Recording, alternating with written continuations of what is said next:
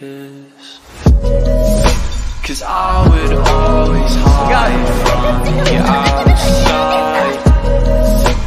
Wishing of a way that I could get inside. And sometimes I